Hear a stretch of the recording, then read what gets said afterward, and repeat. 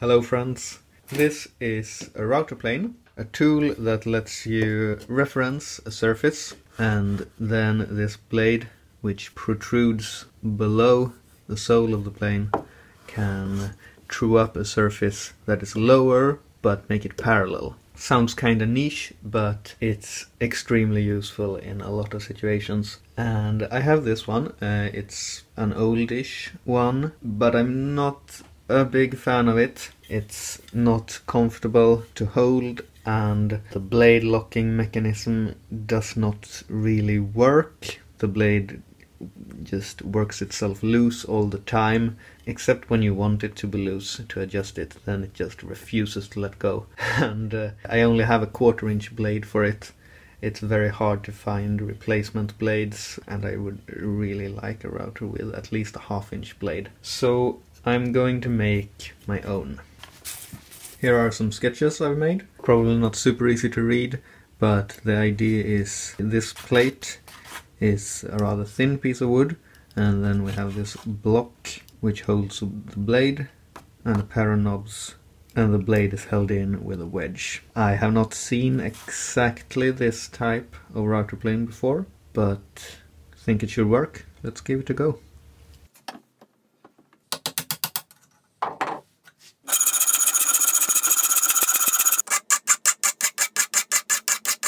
This piece of plywood will become the base I'm not sure what wood it is, but it's pretty hard. Uh, 7 plies, about uh, 9 millimeters, 3 8 thick. Yeah, I think it's gonna work pretty well.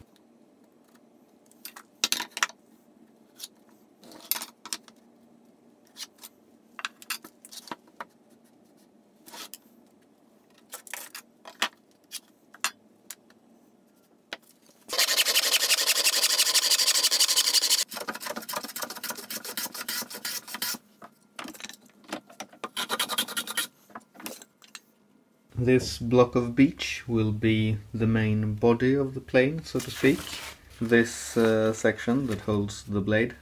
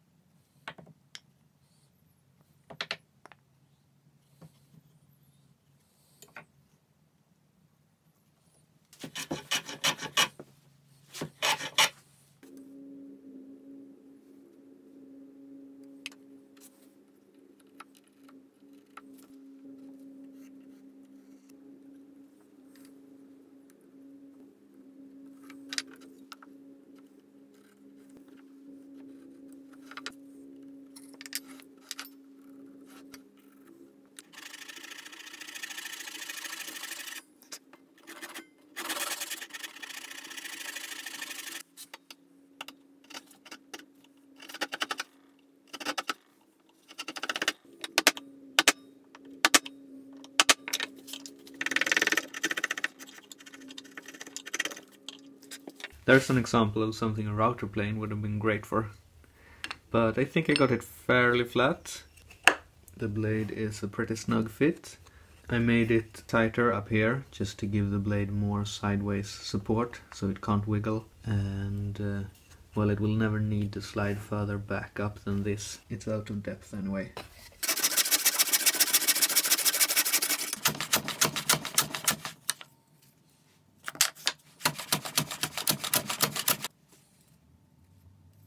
Right, so here is my block that will create the 10 degrees clearance for the wedge. I have a couple of screws here, they are just for keeping it in alignment when it's gluing up. Then of course when it's dry I will cut out that center section to make room for the wedge. So now I'm just going to make sure it's sitting straight, then transfer the screw locations, make a couple of small pilot holes, and then I can glue this together.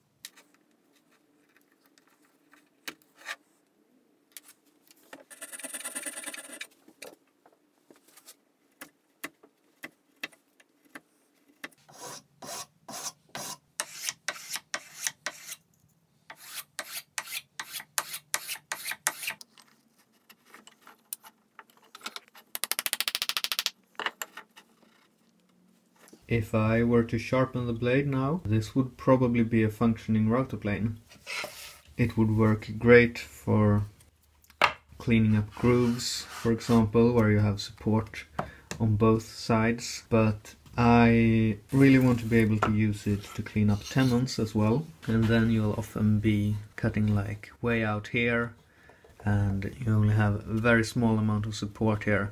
So that's what this piece is for. That'll be the base and you also want a couple of knobs here so that you can really hold it down while you're pivoting the whole plane like this. So the next step will be to figure out exactly where I want to place the body of the plane and where the opening will go.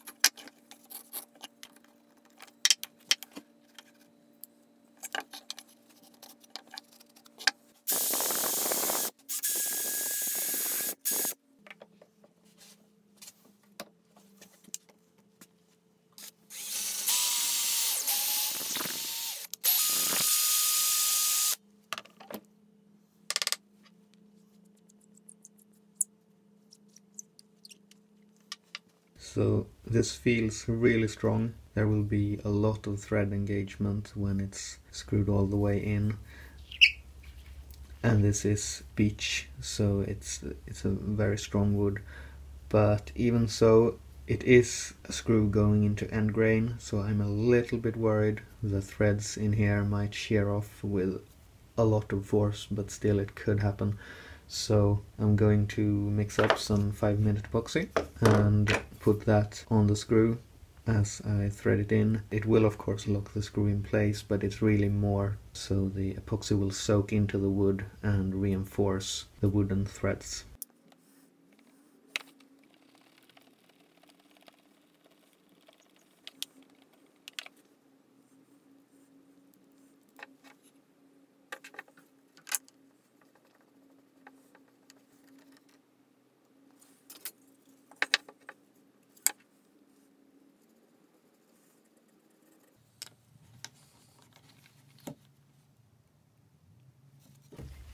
Yeah, that's that's extremely solid. Those are never coming off again.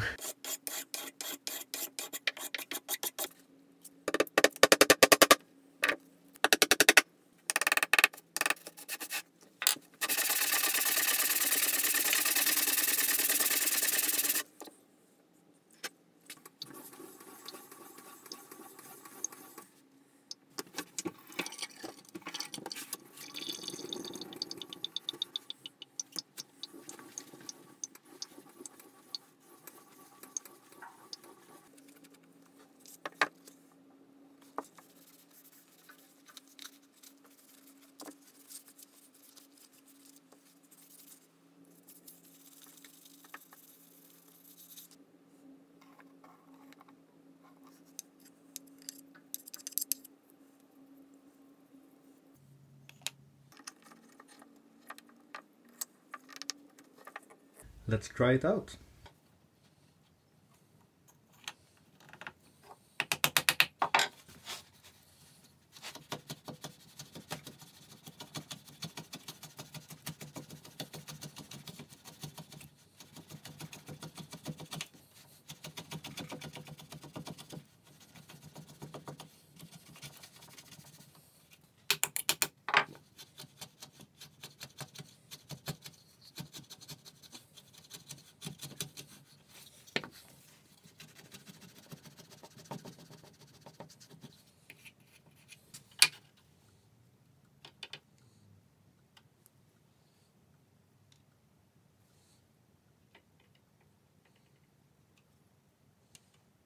Well, that seems to do exactly what I wanted to do.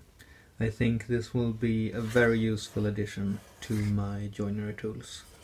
One last thing I want to mention is this blade is kinda short. It's a bit hard to get in there with a hammer to adjust the depth, especially when it's further out. And uh, it is quite limited in how far it can travel. What's that? About a couple of centimeters, two and a half before it bottoms out and uh, of course as I sharpen the blade it will get shorter and shorter and the depth of cut will decrease so I will probably replace this blade sometime in the future that's one of the reasons I went with half inch because that's so common it should be very easy to find a longer chisel that I can use instead of this one. And that's also why I didn't glue this plate in place, it's just screws. Granted, six might be a bit overkill, but uh, I can remove this plate and if needed adjust the bed to accommodate a different chisel in the future. But this should uh, serve me well for, well, a few years probably. The knobs are really lovely. Maybe a bit of a shame to, to use vintage plane knobs but those planes are in really bad condition. I wasn't planning to restore them. I really only kept them for spare parts. So I think it's an acceptable use. I was considering putting a strip of wood on the front here to stabilize it so it won't flex. Um, doesn't seem to be necessary. I can always do it later if I realize that's a problem, but it doesn't seem like I can flex this. It would take more force than you would reasonably put on something like this. And uh, yeah, I obviously need to work on my technique this is not a perfect tenon, but it's a whole lot better than I could do just with saw and chisels. So yeah, with a bit of work, I think this should increase the accuracy of my joinery. Thanks for watching.